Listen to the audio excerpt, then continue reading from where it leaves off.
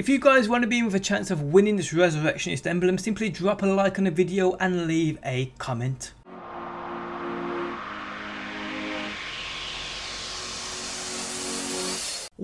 What's going on guys? Today I bring you another Destiny video and today we're going to showcase all the new armor seen in Bungie's latest Age of Triumph stream and if you guys haven't seen them yet, brace yourselves as they look fucking incredible. So let's get into this shit. The first armor we're going to check out is the new Vault Glass armor. Seen on screen now are some of Bungie's concept arts of the actual armor looking great. Starting with the Hunter, obviously Hunter Master Race. As I speculated, the glowing cloak was from the Vault Glass. Notice the leg as well, epic looking, this being an ornament. Like what we see on the Warlock as well, seen on screen, he also has Vex legs, fucking amazing. The Warlock also has these badass looking tentacles. Super jelly, I'm not gonna lie, me being, well, Hunter being my main. Next up we see the Titan in his new Vault Glass gear and straight away you will notice the shield on his back. Fucking incredible. The Vexified armour on these armours are ornaments. Now ornaments which can be applied to these red armours exclusively drop from raids featured in the weekly rituals playlist. If the raid you are playing is not a featured raid, you will not get an ornament token drop which you can use on this new gear. Another interesting thing to mention is raid ornament tokens you obtain can be used on armor from any raid which ornaments can be applied to. So if you have a red ornament token drop in the Vault Glass when it's the featured raid in the weekly ritual playlist, you can use that red ornament token on your Crota's End, Wrath of the Machine or King's Fall raid gear if that's what you want to do. So raid tokens can be used on any raid gear it's as simple as that, which is a great thing in my opinion. Okay, so the next red armor we're going to check out is the Crota's End regalia, seen on screen now with this concept image. And fuck, does it look absolutely amazing.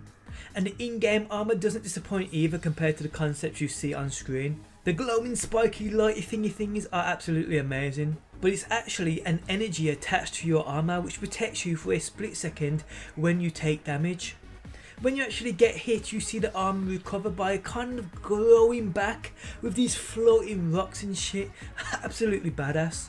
All three armors do look incredible, I'm not gonna lie. This is probably my favourite we've seen so far with the Age of Triumph. I cannot wait to start grinding for it.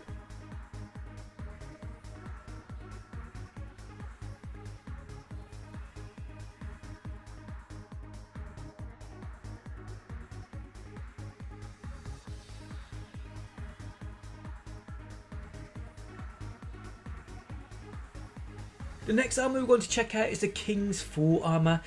On screen now we see a concept of armor obtainable in game. Now this armor as you can see on screen, it also has energy attached to it, but it isn't as apparent as that Crota's End gear. The energy on this one glows blue instead of the green what we do see on that Crota's End gear. It acts in the same fashion though. When you get damaged the energy goes then reappears.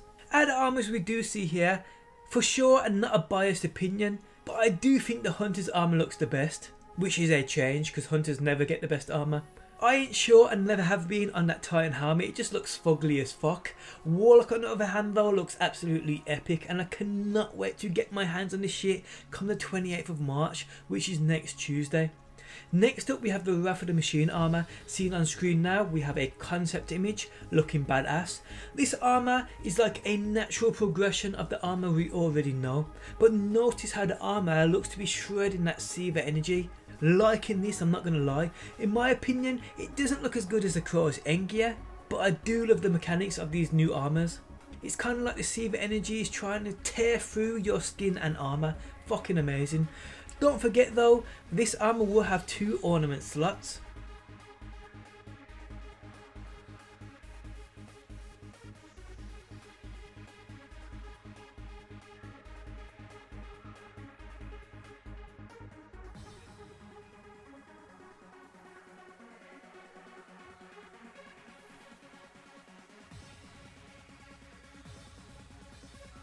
Okay, so next up we're going to take a look at the new Age of Triumph armor set.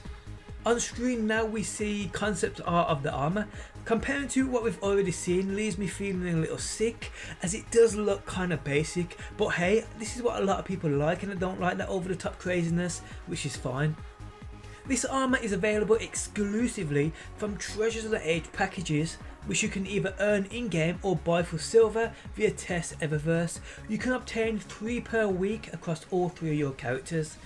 This Age of Triumph armour is the only armour that comes with Age of Triumph which can have chroma on it.